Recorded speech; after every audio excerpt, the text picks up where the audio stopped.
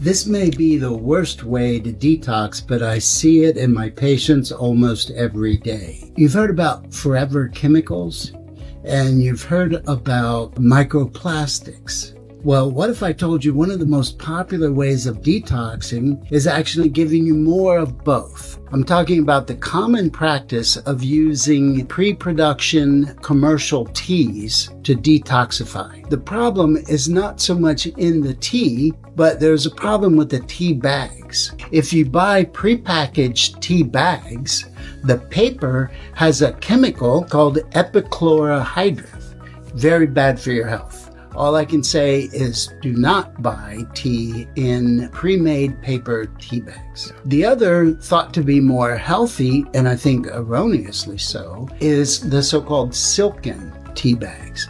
They're even worse because they have both forever chemicals and microplastics in them. When the hot water touches that silken tea bag, it explodes into 11 billion microparticles of plastic. That includes a plastic called PET. PET stands for polyethylene terephthalate. That is one of those forever chemicals that you've been told to avoid. So what's the solution? It's fairly simple. You buy your tea direct from the tea maker, not in those individualized paper or plastic tea bags. My favorite was Teavana, so buy it in good old fashioned glass containers or stainless steel. You can even buy those uh, little stainless steel tea preparation for individual units. You can buy them easily online.